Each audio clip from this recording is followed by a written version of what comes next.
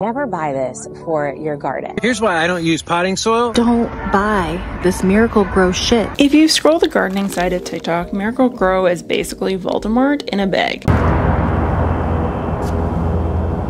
The usual claims it's synthetic chemical, it kills microbes, it's bad for the environment. Sounds terrifying, right? But here's the truth most of the ingredients in Miracle-Gro potting soil mix are pretty standard, nothing exotic, evil, or inherently dangerous. Let's break down ingredient by ingredient exactly what you can find. I feel like I'm semi qualified to talk about Miracle-Gro potting soil mix and the components within it because I do have a bachelor's of science in soil science. Yes, it's a real thing. I've been gardening since I was five years old, and by gardening, I mean killing plants left, right, and center for the majority of my life. And I've worked in agriculture, yes, big ag, the bad guys, for at least a decade. So that is my perspective. That's where my Miracle-Gro perspective is coming from. I just felt like Trump right there. Okay. Or is it like that? I don't know. I don't watch enough news. If you did not know this, most reputable potting soil companies will have a breakdown of ingredients in their mixtures. The exception to this rule can be seed starting mixes, and the reason for that is because it's usually just peat and perlite. There's only two things in it.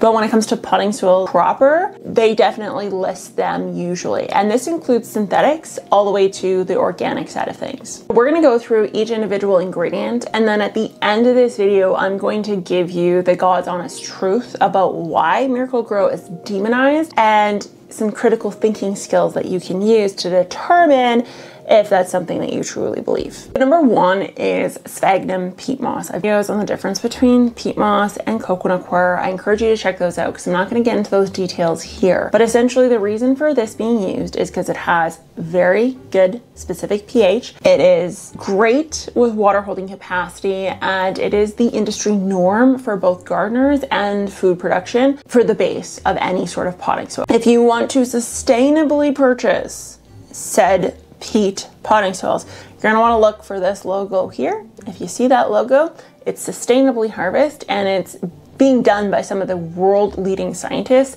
who actually work internationally to recover bogs in Europe and all over the world that have been destroyed. Perlite, volcanic rock that's been heated up and exploded. It helps with drainage and aeration. It's chemically inert. It does absolutely nothing. Number three is fertilizers, more specifically slow release fertilizers. People assume chemical or synthetic fertilizers are evil or bad.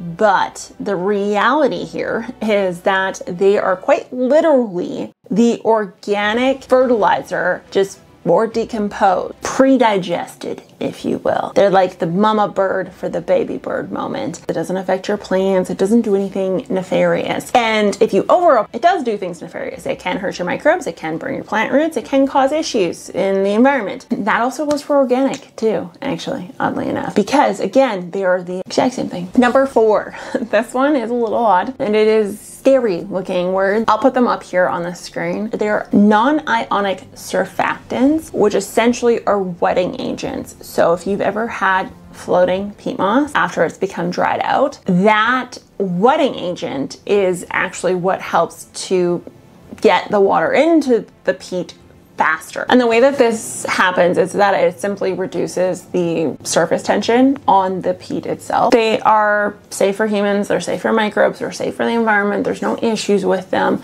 but they're in there to help you guys out. Where did all the hate come from? If those ingredients aren't bad or dangerous, and the truth of this is that the hate is mostly caused by marketing and just sheeple. There's been a rise of organic gardening and eco-friendly gardening becoming a thing. And anything that falls outside of that is demonized. But most organic soils, well, they don't say it, actually contain the exact same ingredients, including the surfactants. And they also have less homogeneous mixes of nutrients. It's kind of, you're kind of at the mercy of the maker.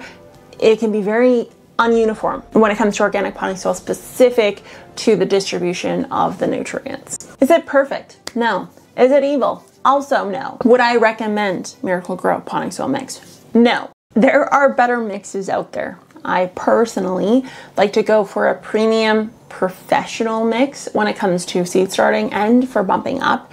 And the reason for that is because it quite literally is in a league of its own. It is what is used by greenhouses for food production or just even your ornamental plants you get from the greenhouse they're using those premium professional potting soil mixes. Miracle-Gro, when you open up the bag, it just it doesn't look good. It does, it's got a mix, it's a little uneven in the different sizes. It's just not wonderful stuff. It's not nefariously bad, it's just a poor mix. And these potting soil companies know that. You are getting kind of like tea, for example. You get tea bags and you get loose leaf tea. Tea bags are basically equivalent of Miracle-Gro. You're kind of getting the scrap. Is it going to kill your garden microbes? Not even freaking close. It's not going to do anything to them. Actually, quite honestly, it is less likely to kill your microbes than a lot of organic potting soil mixes out there. The reason for that is because it has a lower salt index and it has a slow release fertilizer whereas an organic can actually have very high levels of ammonium and this can result in higher levels of salt combined with a massive influx of nutrients that can't be utilized by the plant and will be leached out into the roads and the rivers and all that sort of stuff. Geek Crew, the next time someone demonizes you for using Miracle-Gro and says it's evil, you need to ask them what ingredient specifically is it that is evil and see what they have to say. They probably can't even pronounce perlite to be totally honest with you. With you. If you want more science-based myth-busting info, then hit that subscribe button, like, share, and I will talk to you guys next time.